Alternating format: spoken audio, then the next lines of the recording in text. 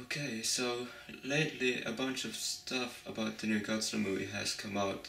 There's there's been a new the new poster, the the magazine cover of the, of Empire, and uh, the the new Roar soundbite, and now the new trailer. I'm so excited.